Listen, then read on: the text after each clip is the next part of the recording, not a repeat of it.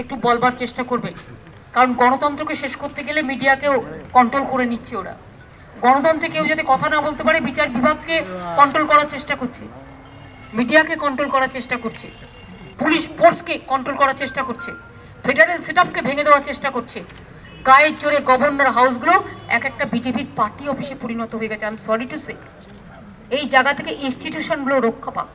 আমি ইনস্টিটিউশনগুলোকে রক্ষা করবার দাবিতে গণতন্ত্রকে রক্ষা করবার দাবিতে, সংবিধানকে রক্ষা করার দাবিতে বাবা সাহেব আম্বেদকারের। আমি এখন থেকে, আমি যাচ্ছি, আমি ধর্নায় বসবো। আগামীকাল আমার রাজ্যে বাজেট আছে। আমি যেখানে ধর্নায় বসবো, তার পাশে একটা রুম বানিয়ে নিচ্ছি, যেখানে আমি ক্যাবিনেট মিটিং করব। কারণ জেনারেল বাজেটে ক্যাবিনেট মিটিংয়ে পাশ হওয়ার পরেই জেনারেল বাজেট প্লেস করা যায় দ্যাট ইজ দ্য সিস্টেম কিন্তু যেহেতু এটা এমার্জেন্সি আমার সকালে ক্ষেত মজদুদের মিটিংও আছে।